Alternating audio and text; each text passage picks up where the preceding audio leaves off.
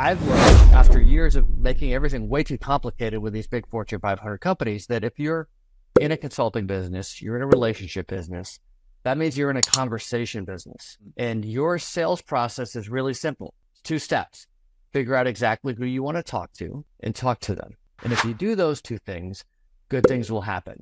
And if you don't do those things, you're going to struggle. I think so many of us get this wrong. We're, we're desperate for the business. And so everyone we talk to becomes the next prey. It's like if I just connect with more people, someone will say yes. And and that's largely true, right? If you reach enough people, someone will eventually say yes. But if you spend a little bit of time going deeper with each person, you'd probably find that more people will say yes of the people who are reaching as well.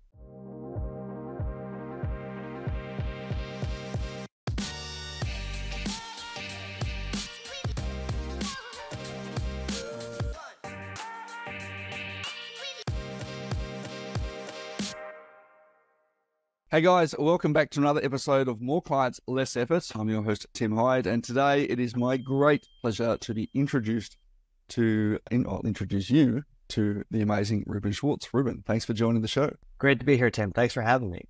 No, my pleasure, man. My pleasure. Reuben is the founder of uh, Mimiran. It's a fun CRM for independent consultants who love serving clients but hate selling, which I would agree is so many of us.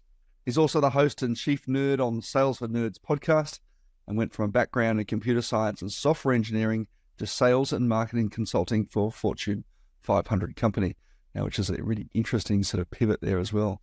While struggling with the sales and marketing for his own firm, his mission is to help other independent consultants make a big dent in the universe and get more clients by using their talents to teach instead of market, connect instead of network, and help instead of sell, which is, I think, a super important thing and something our regular listeners would we talk so much about. Reuben, talk me through the journey. Well, gosh, I don't want to bore your your listeners, but basically, I'm one of those software people. Came down to Texas to work at a software company because I thought if I didn't come down for the interview, I would never set foot in Texas, and I should at least come for the weekend. And then I decided, well, gosh, it's actually kind of nice here. Maybe I'll be here for a year or two. And here we are, 20 something years and two kids and a dog later and I've been here the whole time. So clearly, I'm not very good at predicting the future. But I was working on sales and marketing software for giant enterprises. And one of the things that frustrated me was I felt like by the time the requirements got back to me, it was like, I don't know if you play the game of telephone where you whisper in someone's ear, and by the time it gets back to the first person, it's it's total totally different than what you started out with. And I had this this cocky assumption that that if we could bring the technology and the strategy and the business process together, we could maybe get better results with less effort to kind of tie into the theme of this show. And I thought, let me go help some of these clients do this. So instead of we're going to spend a year drawing up a grand strategy and then a year doing a bake off and then a year implementing. And then we get to the end of year three and it's been reorged five times and we don't remember why we did this in the first place. What if we did something made some incremental progress in three months, made some inc- incremental progress in three months, and so on. And it turned out, as much as I had no idea what I was doing really at, at that young age, that this was actually a pretty good approach. And, and we got good results for people. We got repeat business, we got referrals. And I wanted to get beyond just waiting on referrals or waiting for a client to call me up and say, hey, let's do another project. Because, of course, you're kind of going in that feast or famine cycle. I wanted a sales or marketing machine like I was helping my clients optimize. And I knew I didn't know how to do that very well, but I thought I'm getting paid to sit in the room with some of the top sales and marketing minds on the planet. So let me just take good notes and copy what they're doing, right? It seemed to make sense at the time. Of course, it was an absolutely terrible idea. And the better I did at it, the worse things got. And it's obvious to me now that if you have a 5,000 person sales team and you have a $5 billion marketing budget, how you do sales and marketing is going to be very different than if you're doing rainmaking for your boutique consulting firm in your spare time. Yeah. Yeah. And we're talking rainmaking, being the, the ability to attract business into your world, right?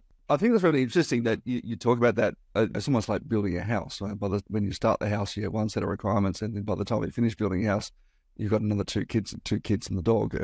Need different things, and you think, oh, I wish my kitchen had a bigger pantry. Right. right. And your software development life cycle is very much the same. I actually because I, I come out of the software space as well, and I always found that the customer in many ways didn't understand what it is that you were trying to achieve, right, with software, right? They didn't really understand that, hey, I need to break down all these little steps. And In the same way, I don't think, just like software development, I don't think that our customers really know the journey that they want, that we want them to go on either, right? So just because they want to go their own way, we sometimes need to chase them and follow them, but we're trying to architect this so we get the same result and those customers go on a predictable path every single time, isn't it? And of course, you also have some of the software vendors who see everything through the lens of their own product, whether or not it's right in a particular case for a particular customer, right? And then then you kind of have that mismatch, which is what I was trying to solve for some of these customers, right? Especially some of these big enterprise deals. One of the things I, I hated about the enterprise world is it was sort of this weird game theory where they would have these giant requirements documents and and big competitive bake offs and anyone who responded honestly to the RFP wouldn't make it to the second round because nobody could fulfill all these requirements. There's just no way. So the people who made it were the ones who were the best at making it seem like maybe they could do it. And it was sort of this cat and mouse game that just left a bad feeling in my stomach afterwards. And one of the things I realized I would end up doing some projects in between some of these big projects for smaller firms, sometimes even solo firms. And I thought, gosh, it's really nice. You can go in and work with these small companies and you can change their lives in an afternoon. I wish there was a way I could do that that would pay the bills because it was really more of a hobby between the big projects at that point. And I didn't have a light bulb moment saying, oh, I should build a CRM for these people. That's not what happened at all. But it's kind of funny how it worked out that way. Yeah. What was it about working with, I guess, owner operator led consulting businesses compared to the enterprise that really attracted you? I mean, you talk about being able to actually see the impact. Is that the main reason for you? I think that's a big part of it. The other thing is it's it's working with a past version of myself. So as much as I really cared about helping my big enterprise clients, it wasn't personal in the same way. And there's a different energy I realized in the way I think about it and the way I talk about it when I'm helping basically me versus when I'm helping these big corporations. And it's not nothing against that, right? There's plenty of people who come from that world where all that stuff is very personal. To me, it was more like a game. I wanted to help my clients win the game. Whereas when I wake up now and I'm tired and I don't really want to get out of bed and I don't want to walk the dog and I don't want to go do all the million things, I just want to like sleep a little bit longer. But then I remember that feeling in the pit of my stomach of thinking that sales and marketing was so scary and not knowing how to go do it and realizing that there's so many people out there wearing those shoes today and it's my job to help them, that gives me a lot more energy than let me go help add a few more pennies per share to some big company's bottom line. Right? Nothing wrong with that mission. It just didn't have the same visceral impact on me. Yeah. I think what you're, what you're talking about really is understanding your why in business, isn't it? Right. And we can do a bunch of things. It's it's remarkably how similar our, both our journeys are as well. I came out of big corporate and government as well as an IT guy. Uh, mine was for project management, and I found so many of the projects I was running it kind of didn't have meaningful impact, or we'd spend hundreds of thousands of dollars or millions of dollars, and then the project to be cancelled. I'm like, what am I doing here? It doesn't seem to have any purpose, right? Someone through a stroke of a pen in the accounting department or a new executive has decided to go in a different direction because they didn't like the previous the previous boss and they're trying to put their own stamp on things. Right. Um, so much of that seemed kind of, yeah, I mean, yes, as you say, right, for the bottom line, yes, it paid really well, but kind of didn't have, as you say, that visceral, meaningful impact on someone's actual life in many ways. And I was certainly getting in by the end of it, I was kind of like, what am I doing here? This doesn't seem right.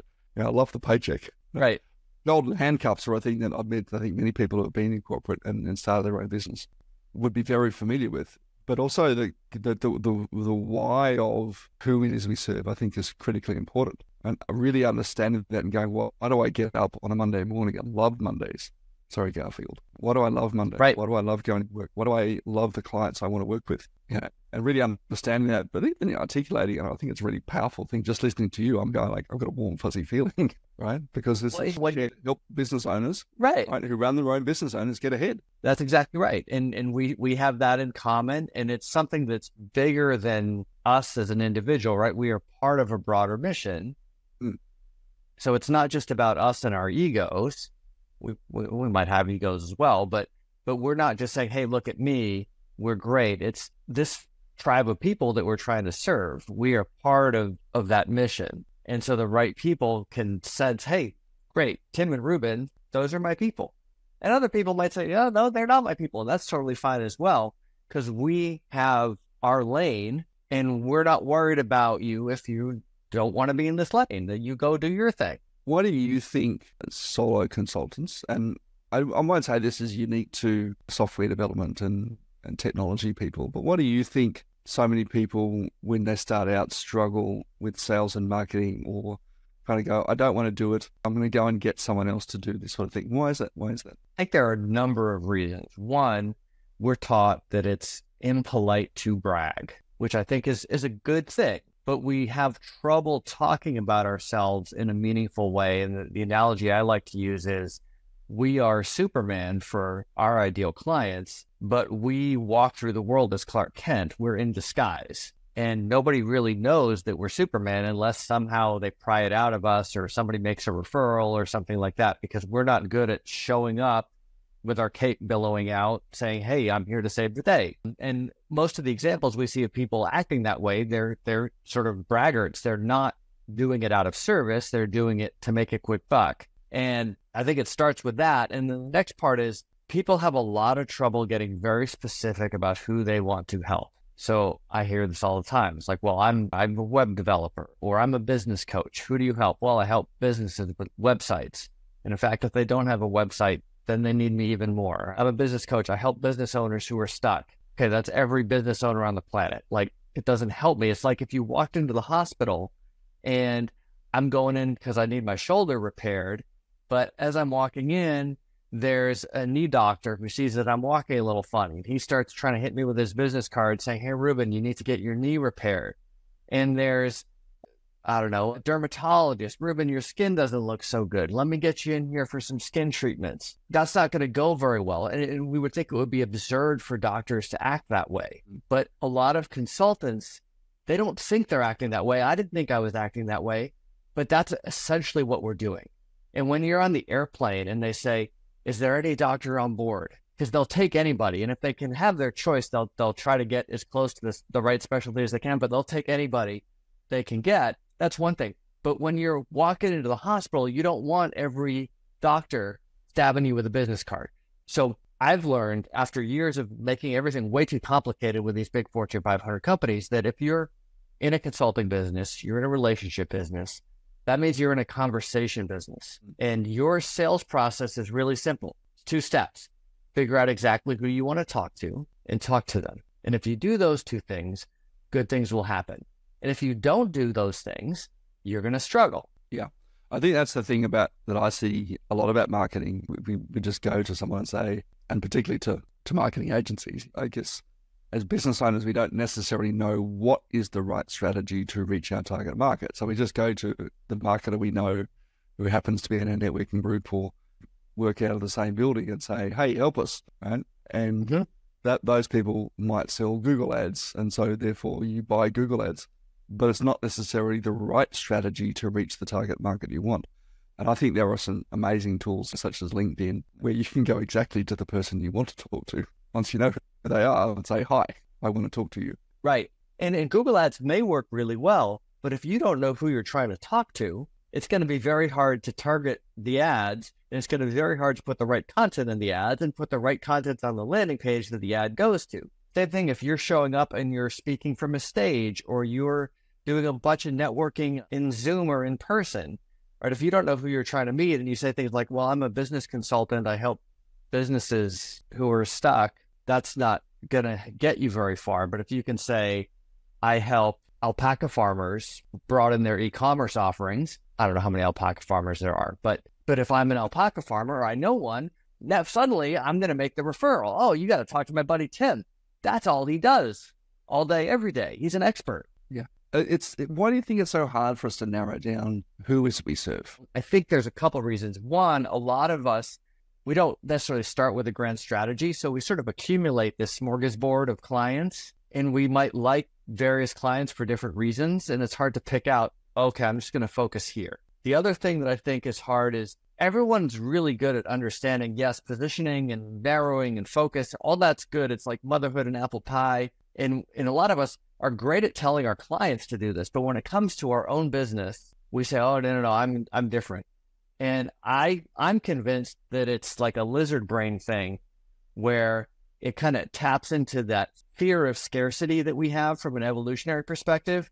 We don't want to cut off possible sources of food. We don't want to cut off possible social connections that that we might have. And it doesn't matter how much logic we apply to fix an emotional problem, right? I, we can run through all kinds of. I have spreadsheets where I show, you know, if you have strong positioning, here's how much revenue you make per conversation. If you have weak positioning, here's how much you're going to make, and it's so night and day. But the problem is, it's not a logical conversation in your own head.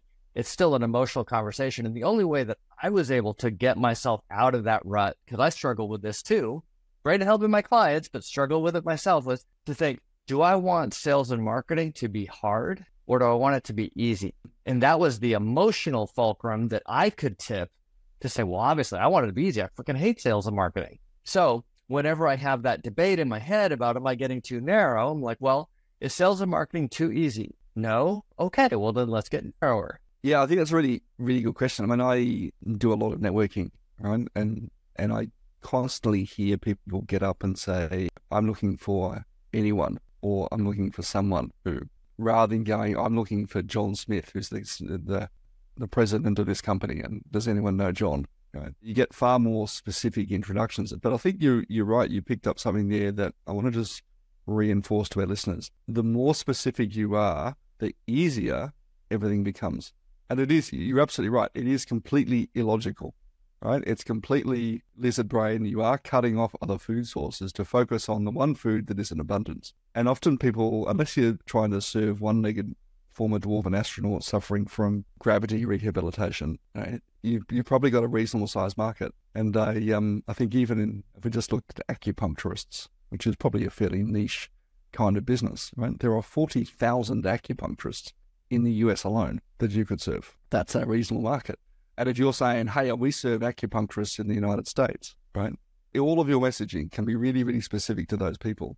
And an acupuncturist looking for a business coach or a software developer or a, or a sales coach or a whatever, who now hears your message compared to everybody else's, will resonate more with you because you're a specialist in that area. That's right. And I think that's a great example I didn't know there were forty thousand acupuncturists in the United States. But let's let's say even better. There's probably only five companies that provide needles to those forty thousand acupuncturists. Right. Getting with those guys, and you're probably really good. So say say you're a solo consultant, you serve that market of acupuncturists. You're already doing better than most by by being able to narrow down to acupuncturists. But you can't serve forty thousand people as a solo consultant. Maybe you can if you write a book or have a course or something. But if you think about who you can actually do work for, it's a pretty finite number. And so I would encourage people to say, okay, great. It's acupuncturists who what? And maybe it's they're hiring their first staff member or there's some other thing going on in their practice. So even within that 40,000, we get down to about a thousand people, say, and we're going to define the playing field such that within that playing field, even though we're solo, we are the 800 pound gorilla. We are the IBM or the Apple or the Google or whatever of that market where if you're one of those people, you're probably going to have heard of me or you will soon, and you're going to get a great, great referral because I do great work. Everyone loves it. And if I completely saturate this market, I can always broaden it and I can always take work from outside that narrow focus. But why not be intentional? It's our business, right? This is the superpower we have. We can be intentional about who we'd really like to work with. That's going to make our lives so much easier. It's going to let us have greater impact because we're working with people who are actually going to go be able to implement what we want to do for them. And it's going to help their clients. We're going to make bigger impact in the broader world. We're going to make more money.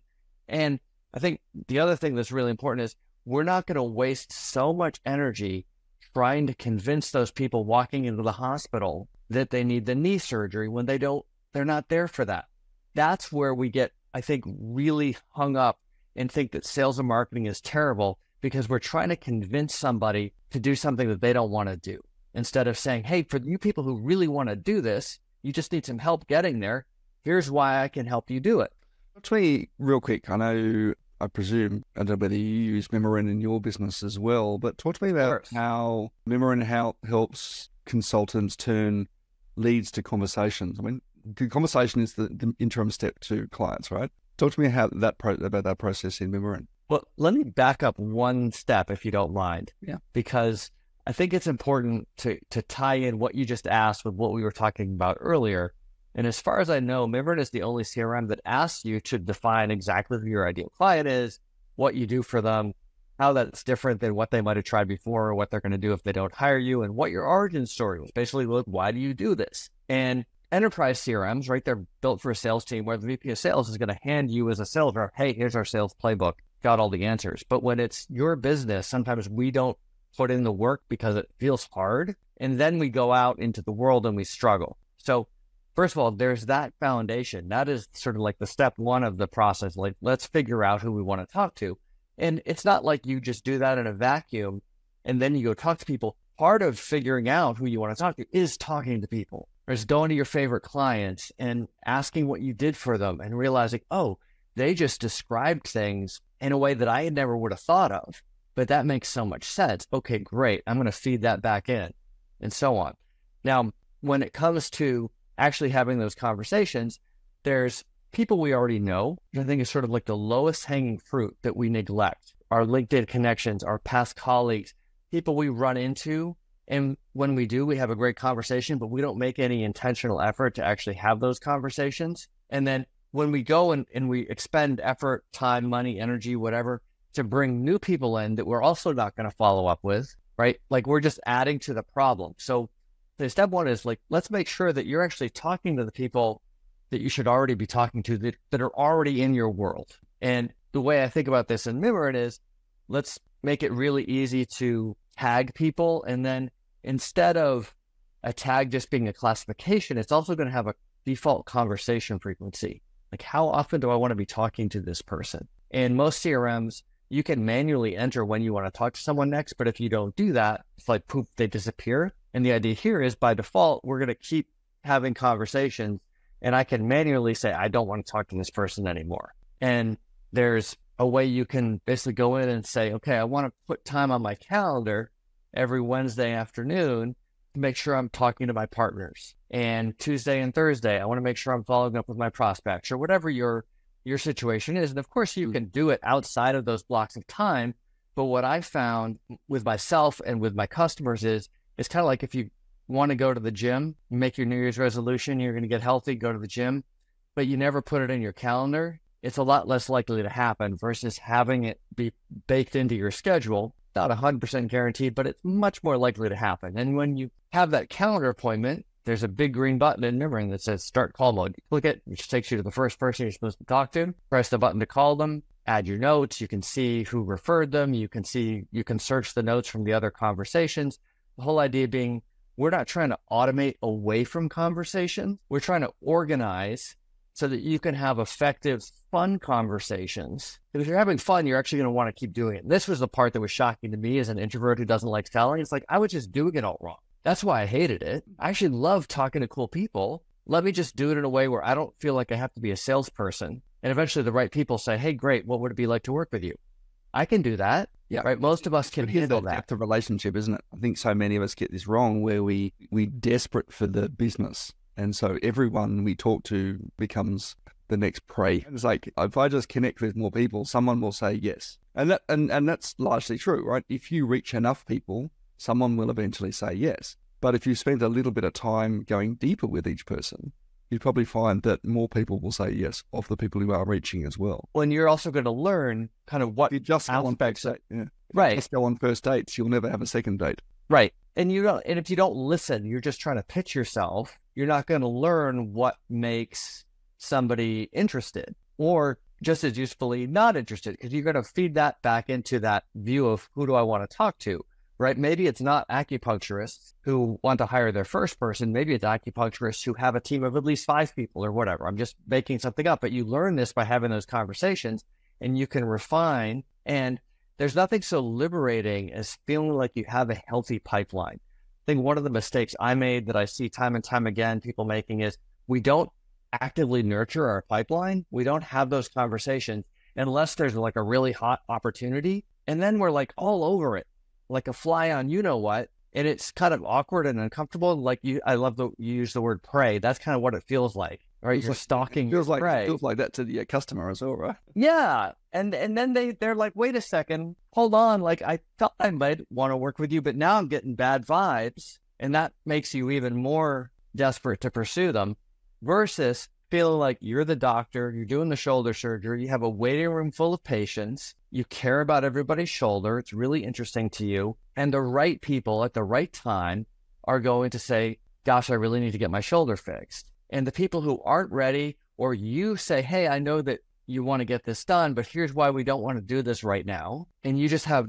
the liberty financially and psychologically of knowing you've got that waiting room full of, of people there. Now you can just have really natural conversations that ties directly into what you were just saying.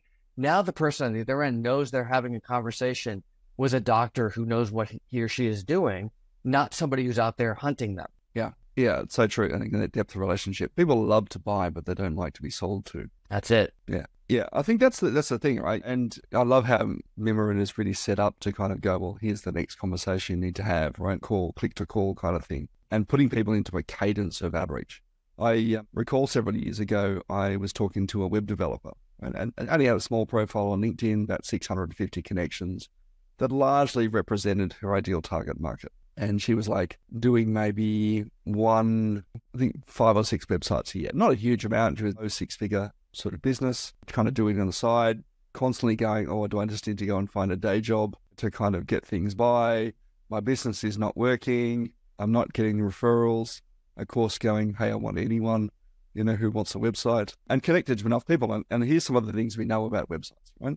Most people will rebuild their website every five years and they'll largely not use the previous web developer, right? Because that web developer's gone and got a day job as well. Uh, right. Or over the five years, they've actually not gotten the number of leads from their website that they thought they were going to get. And they've gone, it might look pretty, but it's not delivering me the results that I want. So we go back out to market and look at a new one. Over the 650 people, you'd probably think that there's a percentage of those that are in the market at any particular time looking to build a new website, particularly as Right. we know that uh, we know that we do it every five years. So let's let's round it down. Let's call it there's 50 people who are friends and family, and the other 600 are potential customers. Going, how how often do you think, how much time do you think it would take to just touch base with those 600 people? Not every month, but maybe if you touch base with 50 people every single month, 100 people, Not very much time at all. not very much time at all. And you're probably talking half a day, of, Hours.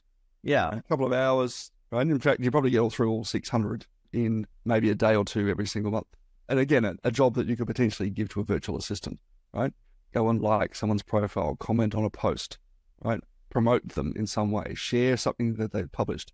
And you would be top of mind, right? Particularly sort of sharing and commenting on people's content, because largely, right, no one does that. That's what I call the influence pyramid.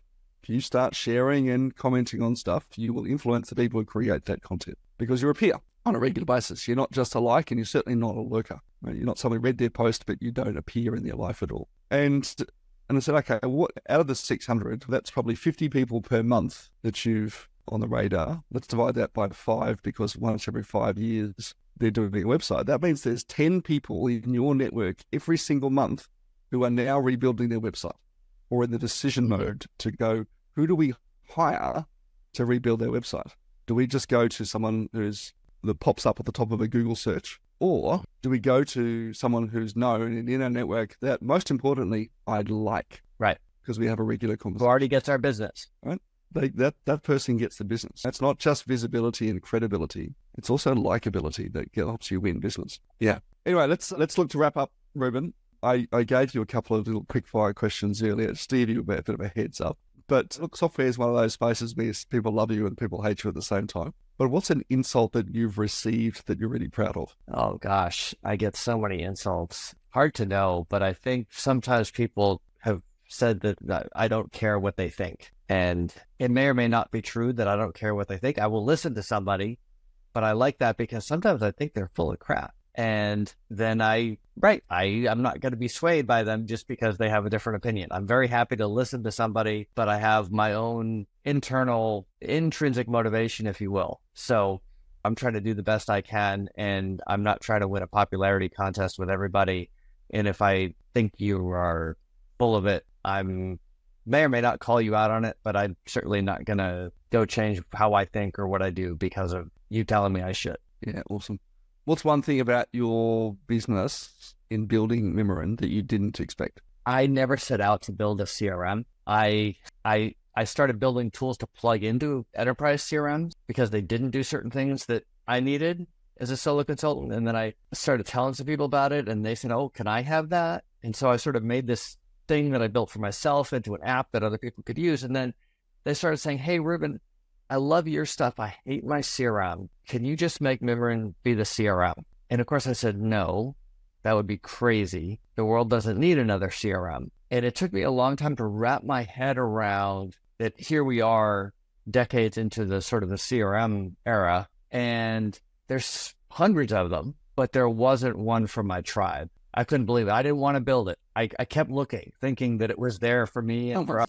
surely. Yeah, like, don't make me do this. This is crazy. And there wasn't. What's your favorite productivity hack for entrepreneurs? I think getting very focused, like we were talking about earlier in the interview, about who you're trying to help, because it makes it so much easier to ignore or say no to the people that are a distraction. And I think what happens to a lot of entrepreneurs, a lot of solo consultants, we we get overwhelmed and there's a phrase that startups don't die of starvation they die of indigestion. And i think a lot of that happens to consultants as well. It looks like they're dying of starvation because there's not a lot of revenue but it's because they're trying to do too many things for too many different people.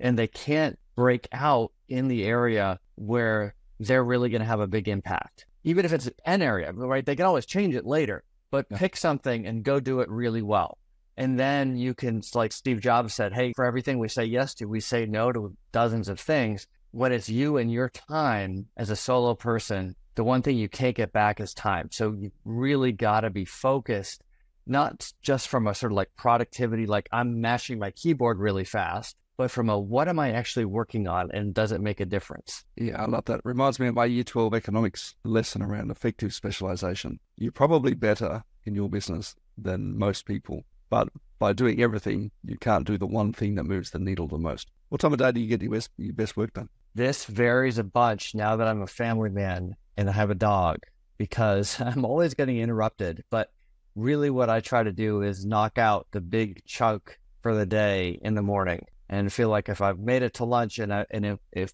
for some reason I can't do anything else, I've done the most important thing I set out to do. Great. Speaking of family man, favorite trip you've been on? Really hard to pick just one, although we did just get back.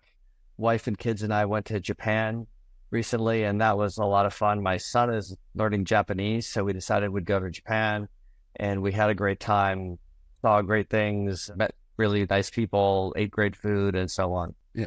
All right, I'll throw one last one at you as a bit of a curly one. What's one thing about sales and marketing and CRMs that you wish everyone understood? Well, there's everyone and then there's my tribe and there's there's a difference.